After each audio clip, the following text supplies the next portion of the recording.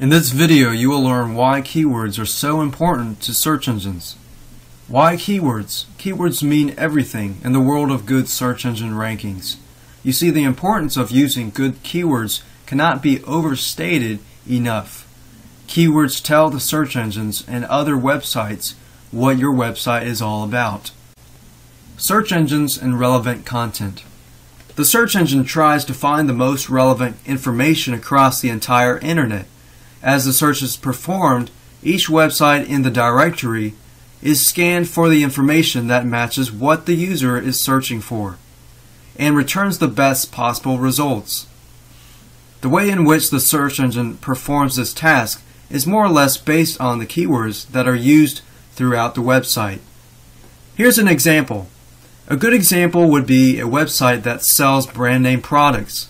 If I sell specific brand of cell phones on my website versus selling general items, I am probably never going to rank higher than that brand name itself. But that doesn't mean you should give up. If your website were to sell a specific brand of cell phones, you might want to use keywords or keyword phrases specific to the product. There are many programs available to assist you with researching good keywords. Keyword density. Sprinkle your keywords across your entire website so that you end up with a keyword density of 3% to 6% at the most. If your keyword density is much higher than 6%, you may find your website banned from the search engines for spamming keywords. Now, if your keyword density is below 3%, you may find that your website will never get indexed simply because it doesn't have enough relevant information about your topic or niche. It may get indexed, but we're talking about rankings here. Search engine algorithms.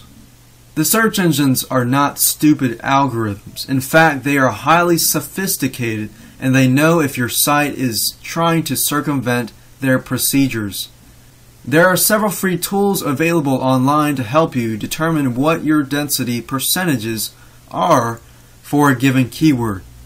Use these free tools and analyze your site to make sure it is operating within these parameters.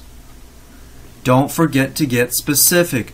Once your website is ranked high for a specific term or keyword, continue to develop your niche and get very specific about the content your website offers. You want people to see your website as the absolute best place to find information they are looking for. This process is constantly changing and you will need to continue your efforts if you want success over the long run. Alright, so I just want to show you a few tools that you can use to find good keywords and also check your keyword density about with your articles and things like that so that you know that you're in the range of 3 to 6%. First thing I'm going to do is show you how to find good keywords. As you can see here, we're at Google in the search page. And uh, one tool that I would suggest you using would be WordTracker's free keyword tool. And to do that, to get there, all you have to do is go to google.com, search in WordTracker free keyword tool, or go to freekeywords.wordtracker.com. So if you go to that site here, I'll actually go and click on it. And you'll notice here a keyword search area, and you can filter, remove a offensive and uh, things like that, or you can turn it off. Uh, but I'll keep that and I'll just say something like dog training.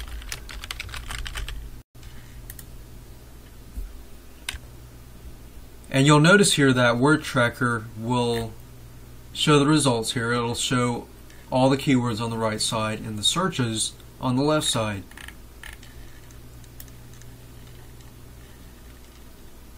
So this is a great way to find keywords and keyword phrases. Now if you want to dig further deep down into say hunting dog training, you can click on that link.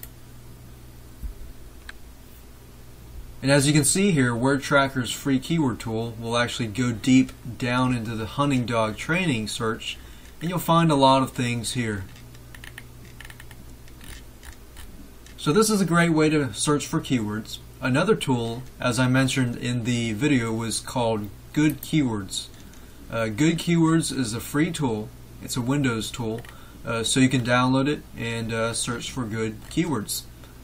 Very easy to use and very powerful. Now let's go down to keyword density. Let's say that you're writing an article or you're writing a blog and you want to check the keyword density of that content. What you can do is go to Google and type in check keyword density and you'll find a lot of free tools. There are some tools that are paid uh, but you really don't need to and uh, you can check this first one, enter the URL of your website, and you can analyze the keyword density right away. So these are some free tools that you can use and you can get started with. Good Keywords, Word Tracker's free tool, all free, the keyword density tools.